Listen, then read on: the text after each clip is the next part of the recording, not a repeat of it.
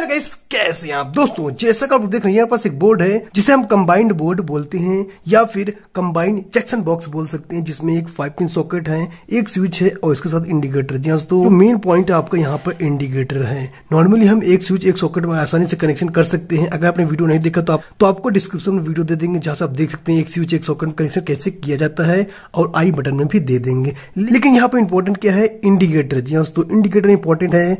मान लीजिए आप चाहते हैं कि जब हम स्विच को ऑन ऑफ़ करें या ऑन ऑफ़ हो, या फिर आप सोचते हैं कि जैसे हम सप्लाई दें इसमें, ये जलता रहे। स्विच को चाहे ऑन करें, चाहे ऑफ़ करें, ये जलना चाहिए परमानेंट ठीक है?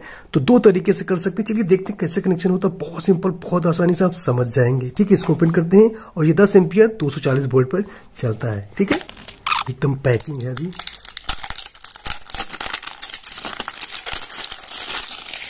देख, देखने में कुछ ऐसा लग रहा है बहुत ज़बरदस्त है, बहुत ही प्रीमियम क्वालिटी है यहाँ पे गोल्ड मेडल की बेजिंग आपको मिल जाती है। दोस्तों, हमने इसको निकाल लिया, इसको ओपन करते हैं ये इसका बैक साइड।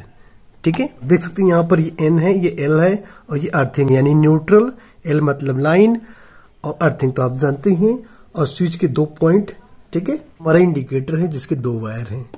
एक वायर ये है और एक वायर ये है। ठीक है? अब हम कनेक्शन स्टार्ट करते हैं तो जो हमारा फ़ेज़ वायर होगा, वो स्विच के नीचे वाले पॉइंट पे आएगा। उसके बाद हमने न्यूट्रल लेना है न्यूट्रल यहाँ पे एन वाले पॉइंट देना है। उसके बाद हमने इस स्विच से सॉकेट में कनेक्शन कर लेना है और अर्थिंग का कनेक्शन कर सकते हैं, ठीक है? लेकिन यहाँ पर मेन इंपॉर्टेंट है आपको इंडिकेटर आपको इंडिकेटर कैसे रखना है? यानी कि जब आप इसमें सप्लाई दें तो इंडिकेटर आपका ऑन हो, यानी कि परमानेंट ऑन रहे। या फिर आप ये चाहते हैं कि जैसे हम स्विच को ऑन करें, तब ऑन हो, और जैसे ऑफ़ करें, तब ऑफ़ हो। तो ये हमारे पास फ़ेज़ वायर जो कि रेड वायर है, और सबसे पहले हम फ़ेज़ का जो कनेक्शन करेंगे स्विच के निचले वाले पॉइंट पर करेंगे। ये हमने फ़ेज़ वायर कर दिया है। अब हम करते हैं न्यूट्रल कनेक्शन तो न्यूट्रल के लिए हमारे पास ग्रीन वायर है। इसको हम एन वाले पॉइंट पर लगाते हैं। हमने न्यूट्रल का भी कनेक्शन कर दिया।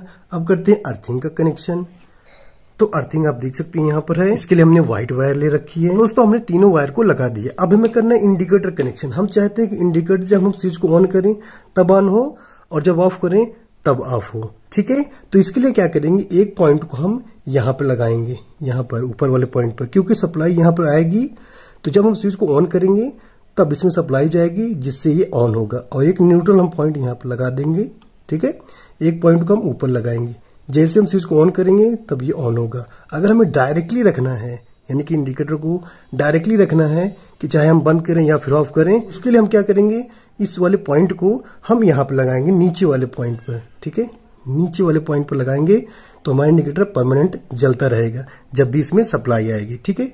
और हम चाहते हैं कि जब हम स्विच को ऑन करें, तब ऑन हो तो यहाँ पर लगाएँगे, ठीक है? और साथ साथ यहाँ से हम सॉकेट में भी कनेक्शन कर लेते हैं यहाँ से, ठीक है? और इसको भी कर लेते हैं। तो हमने यहाँ पर एक पॉइंट लगा दिया इंडिकेटर का और यहाँ से हमने सॉकेट में लगा तो ये हमारा इस स्विच से सॉकेट में कनेक्शन हो गया है। अब ये जो पॉइंट बचा हुआ है, इसको हम यहाँ पर लगा लेते हैं न्यूट्रल वाले पॉइंट पर, ठीक है? दोस्तों, हमने इसको भी लगा दिया तो हमारा जो कनेक्शन है वो कंप्लीट हो गया, ठीक है? सबसे पहले हमने फेस लिया स्विच के निचले वाले पॉइंट पर, उसको हमने न्यूट्रल लिया, फिर हमने अर्थिंग लिया, ठीक है? उसके बाद हमने इस स्विच से इस सॉकेट में कर दिया और यहीं से इंडिकेटर का एक पॉइंट हमने ऊपर लगा दिया और दूसरा पॉइंट हमने न्यूट्रल में दे दिया। ठीक, स्विच को ऑन करेंगे तो हमारा इंडिकेटर ऑन होगा। जब ऑफ़ करेंगे तो हमारा इंडिकेटर भी ऑफ़ हो जाएगा। ठीक है, इस तरह हमने इसमें कनेक्शन किया है। उसके लिए हमने यहाँ पर ऊपर वाले पॉइंट पर इंडिकेटर का एक पॉइंट दिया हुआ है। अगर हमें डायरेक्ट लगना है तो इसको हम यहाँ पर दे देंगे। ठीक है तो चलिए इसको चेक करते हैं दोस्तों, हमने स्क्रू यहाँ पर लगा दिया और इसको हमने वायरिंग को निकाल लिया ठीक है? अब इसे हम चेक करते हैं कि ये वाकई काम करता है, जो हमारा कनेक्शन सही है या फिर नहीं, ठीक है? ये हमारे पास एक्सटेंशन बोर्ड है हम वायर को लगाते हैं, हमने कनेक्शन कर दिया है, और ये हमारे पास बल्ब होल्डर है, ठीक है? तो इसको हम लगाएँगे यहाँ पर, पहले ऑफ़ करते हैं, हमने लगा दिया।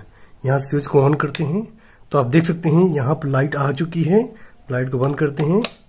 आप देख सकते हैं, यहाँ पर लाइट जल रही है, लेकिन यहाँ पर लाइट नहीं जल रही। आप देख सकते हैं, यहाँ पर इंडिकेटर जल रहा है, हमने वायर को लगा दिया, लेकिन यहाँ पर नहीं जल रही। जैसे हम स्विच को ऑन करते हैं तो आप देख सकते हैं, हमारा इंडिकेटर भी जल गया है, हमारा बल्ब भी जल गया है। इसे हम ऑफ़ करेंगे तो हमारा इंडिकेटर भी ऑफ़ हो गया बल्ब भी ऑफ़ हो गया। ऑन करेंगे ऑफ़ करेंगे ऑन करेंगे ऑफ़ करेंगे ऑन करेंगे ऑफ़ करेंगे। ठीक है? तो दोस्तों, आप इस तरह कनेक्शन कर सकते हैं एक स्विच एक सॉकेट में, जिसमें साथ में आपको इंडिकेटर भी हो। इंडिकेटर को आप डायरेक्टली भी कर सकते हैं, जैसे ये स्विच है। जैसे इस बोर्ड में है तो आप डायरेक्टली भी ऑन इसे रख सकते हैं। और जब आप इसे ऑन ऑफ़ करेंगे स्विच को, तब ये ऑन ऑफ़ नहीं होगा, आपका इंडिकेटर और यहाँ पर हमने क्या किया है कि हम स्विच के साथ किए हैं। जैसे हम स्विच को ऑफ़ करें तो ये भी ऑफ़ हो जाए ऑन करें तो ये भी ऑन हो जाए। ठीक है? तो हमने ऐसा किया है। दोस्तों जी वीडियो कैसा लगा? वीडियो पसंद आए तो वीडियो को लाइक कर दीजिए सब्सक्राइब कीजिए वीडियो देखने का कोई कमेंट हो कमेंट ज़रूर करिएगा। धन्यवाद।